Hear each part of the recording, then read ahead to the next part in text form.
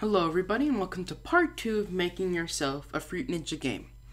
If you haven't seen part 1 already, I highly recommend you do, and there is a link in the description below. But let's just get into the video right now. So last time we left off, we left off with a script that let our uh, fruit go up and down, and we can see that it's only bananas right now. Okay, there it changed to an apple. We got another banana. But now we actually want it to shift across our screen. So to do that, we just want to go to motion and we want to change our x by 3 in each one of these. So if it changes x by 3 there, we can see that it very, very slightly moves to the right. But when it comes back down, we also want it to move to the right.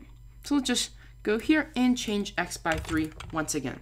So when I click the green flag, we can see that it goes up and then it falls down and it goes up and falls down. So, but now that we've gotten our script that makes our character go up and down and to the side, what we want to do is make it so we can actually slice our fruit.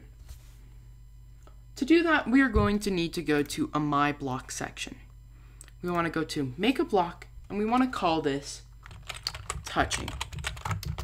Question mark, and run without screen refresh. Now we got this block here that says define this block that we made. So to define it, what we want to do, if touching our mouse, we want our costume number to change depending on what fruit it is. Since if it's an apple, we want it to go to the apple slicing uh, costume. But if it's a banana, we want it to go to the banana slicing and not the orange slicing or the apple slicing. To do this, we want to go to if if touching our mouse pointer,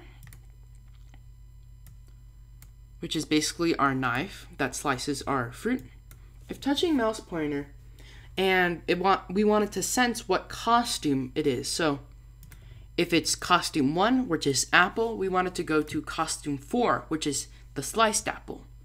Same with orange. Orange is costume 3, and we wanted to go to costume 6 if it's costume 3. So if touching mouse pointer then we wanted to sense what uh, what costume our clone is at. So if our costume number, let's just get an equal sign, and then let's go to looks and drag in the costume number. If costume number is 1, so it senses if our costume number is the apple, then we want to switch costume to the sliced apple. So we want to switch costume to apples 2, which is, if we check here, that is our sliced apple character. So if touching our mouse pointer, we want, and our costume number is 1, we want to switch our costume to costume uh, 4. Let's just duplicate this three times, and I just drag them all under each other, but still inside the if touching mouse pointer uh, statement. We just want to change this to if costume number is 2, and if costume number is 3. If costume number 2, we want it to change to bananas. And if it's costume number 3, we want to change it to orange.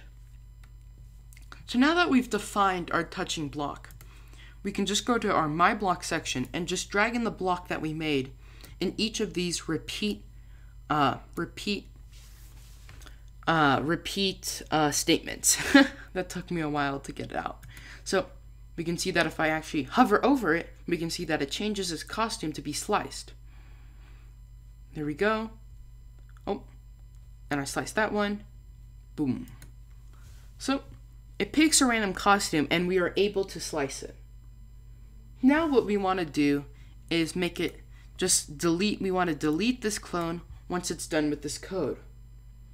But we want to make it so that if we don't actually slice one of these fruits and we miss it, then we want it to appear to the you died backdrop, you failed backdrop that we made earlier. Now to do this, all we have to do is insert a code at the very bottom. We want to drag in an if-then statement.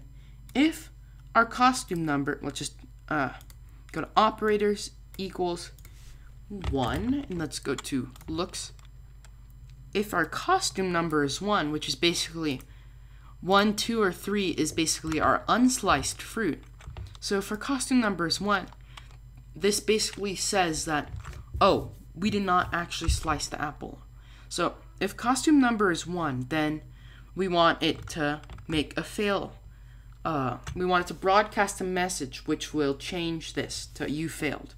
So then we want to go to events and we want to broadcast message 1. Now just duplicate this three times.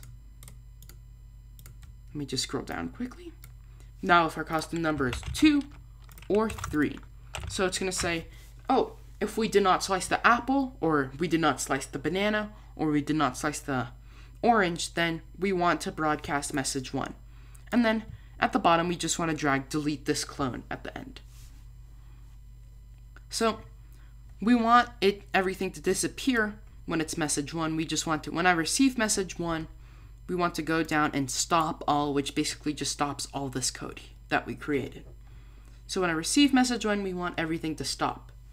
Now let's just go to backdrops. When green flag clicked, we can see that it switches our backdrop to the Fruit Ninja backdrop.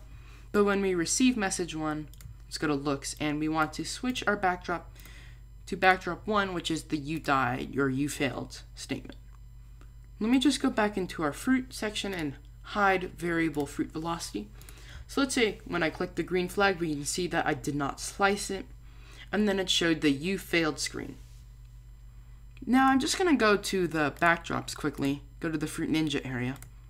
I'm going to make some red text. I'm just going to call this, I'm just going to type Fruit Ninja.